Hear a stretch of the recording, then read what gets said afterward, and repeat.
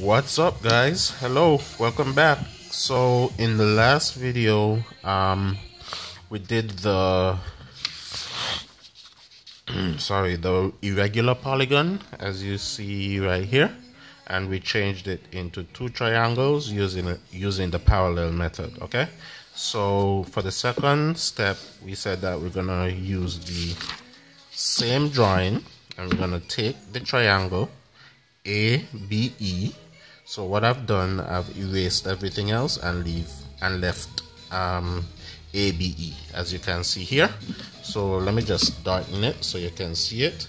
You erase everything else and you leave ABE. Alright. And you can darken this dash line also. And then we'll move on there. Okay. So that's ABE right there. Let me use this right here finish that okay so you have a b e. So what we're gonna do now as you can see is the same thing. We're gonna construct a rectangle equal in area to a triangle. So we have the triangle already.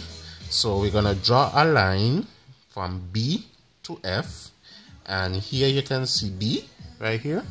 From b to f so from b to f is what kind of line a horizontal line so if you have your T-square and you're using a board, you have to draw a parallel line to the baseline of your triangle, okay? I don't have a T-square right now, so another way you can do that is open your compass to the height of the triangle, like this.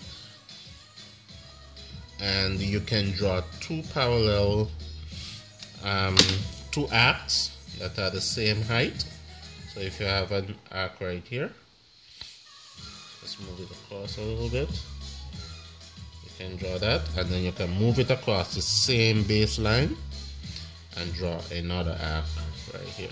Okay? And that way you can get your parallel line. Okay? If you have your T-square, you just draw your line across and you'll get your parallel line. Simple as that. Alright? Alright, so the parallel line at the top is a hidden line or a dash line. So let's use the dash line. And you can go past B um, for your dash lines. Make sure they are equally apart just for neatness okay? Alright so everybody should have this right here. And then the next thing we're gonna do is bisect AE where is AE? AE is the bottom baseline of the triangle so we're gonna bisect AE and we're gonna create H after we bisected AE. To bisect is to divide a line into two equal parts. So let's bisect AE at H. So AE at H means you're going to create H, okay?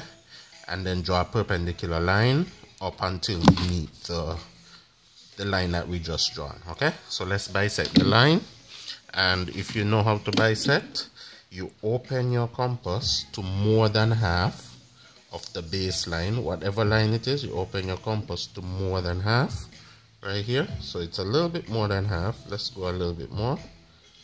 And after you've set your compass do not let it um, change its position okay? So you make your line and then you move your compass to the other end of the line. So both ends and then you strike another arc over here. Okay? After you've done that the two points that the line that the arcs connect to this point and that point will create your bisection line. Okay? You need two points to create a line and then you just draw your line go straight up. Any length doesn't matter okay at the point where the bisection line intercepts the um, the baseline, it's to create H, as they say here. Okay? Okay? So it's to create H right here.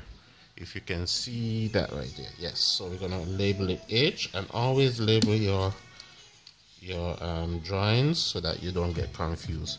The point where the bisection line intersects the hidden line, that's gonna create this which is G okay?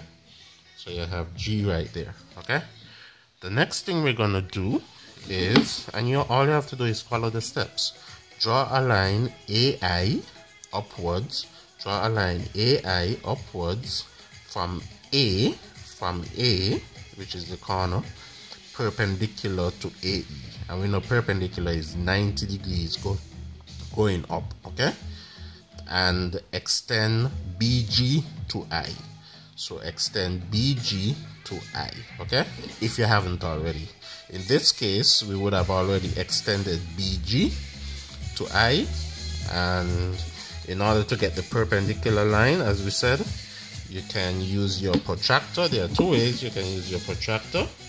Put it at the midpoint which is the target right here on the corner and make sure the bottom line zero is in line with the base of the triangle. Look for 90 degrees which is right here.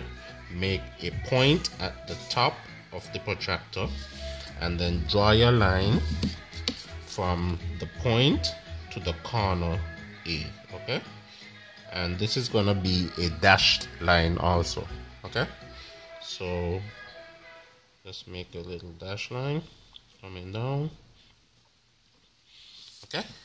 And with that you have your square okay? Simple simple as that okay? And that's all